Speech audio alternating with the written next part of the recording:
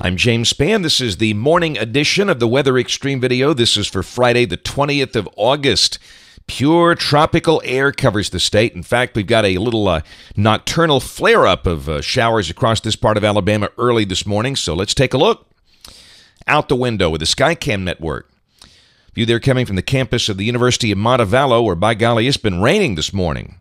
In fact, at my place in uh, Shelby County, heard uh, some pretty heavy rain falling about 4 o'clock. So I was getting ready to get up here and do this. You can see those wet roads out on Highway 280. These images captured around 5 o'clock this morning. Mount Cheaha, what a great place to be in August. Always cooler up there. The high there yesterday, 82. Nice.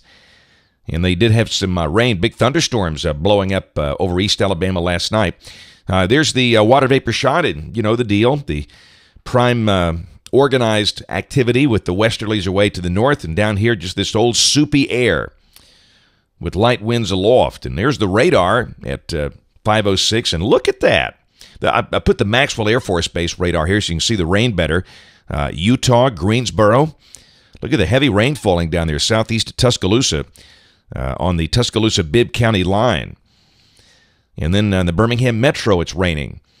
Uh, heavy rain falling in St. Clair County, uh, down there below uh, Chula Vista and Pell City. So a lot of folks are waking up to rain in that zone. And again, that's a reminder that you can see these middle of the night flare ups with this old tropical system broadly hanging around. Here's the storm totals, by the way, coming off the uh, uh, Maxwell radar. And uh, some of the heaviest rain uh, last night was down there just below Sylacauga, about three inches of rain based on estimates. Some flash flooding issues where Coosa, Clay, and Talladega counties all come together. And heavier rain during the blowup overnight over in uh, Greene County in West Alabama. So, always something going on in terms of rain. Uh, organized severe weather risk today Wichita up to Marquette, Michigan.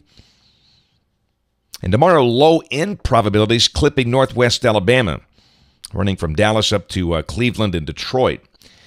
In the QPF chart, uh, still some pretty good rains over the next five days on a cumulative basis.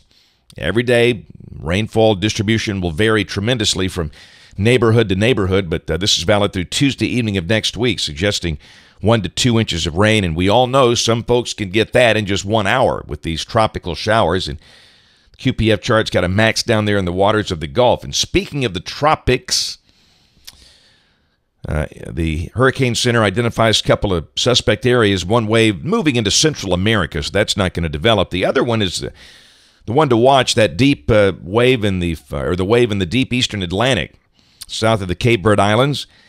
Uh, we'll keep an eye on that. It seems like the door is open for some growth in coming days, and that's where the big ones can come from this time of the year. We'll check the 0Z GFS at 1 o'clock today at 500 millibars. Yeah, you know what that look is.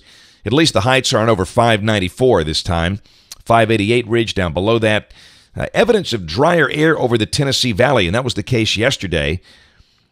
And uh, moist air elsewhere. And obviously, with it raining this morning, it's moist. So, again, you know the deal scattered pockets of tropical showers and storms and a few heavy downpours. Tomorrow, things just don't change. Same deal. Sun at times, showers and storms around. And Sunday, the exact same thing. Highs, low 90s more than likely, maybe mid 90s in spots, and there could be a few spots with upper 80s where the rain begins early in the day. Tuscaloosa broke their long string of 90 degree days yesterday where the high was 89, but Birmingham at 93. The sun broke out for a while, so the string is alive. 46 days in a row with a high of 90 or hotter. That's nasty. There's Monday. 594 ridge off to the uh, west. Down below that, still moist. Tuesday, no change. Wednesday of next week, air much drier north of us, but it's just not getting down here, and that's what you expect in August. And there's Thursday, troughing developing over the northeast United States, and will that push any dry air down here? It tries, but I don't know. I think persistence is the best forecast, and a week from today, eh, maritime tropical air muggy, scattered showers and storms. Note in the far right, some kind of tropical mischief, and then the next day, Saturday the 28th, uh, some kind of tropical system is recurving into the Atlantic way east of the east coast of the United States. Could this be the wave that's off the uh, coast of Africa now? Could be. Um, you know, we've seen some runs earlier this week that tried to move that into the East Coast. The last couple of days, it's been recurving over the open water. Of course, nobody knows at this point, but obviously the GFS is trying to tell us something is going to go on out there. And the next day, that's moving north up the north to the uh, North Atlantic. Into the forecast, September 4th, big trough over the Pacific Northwest, flat 588 ridge, soupy air, still muggy, scattered showers and storms. You know that deal. That's it for the Weather Xtreme video today. We'll have notes on the blog. The next video here by 3.30 or so today. And if you're local to us, we invite you to watch us on television this evening, ABC 3340 in Birmingham at 5, 6, and 10. Thanks for watching. Have a wonderful day, and God bless.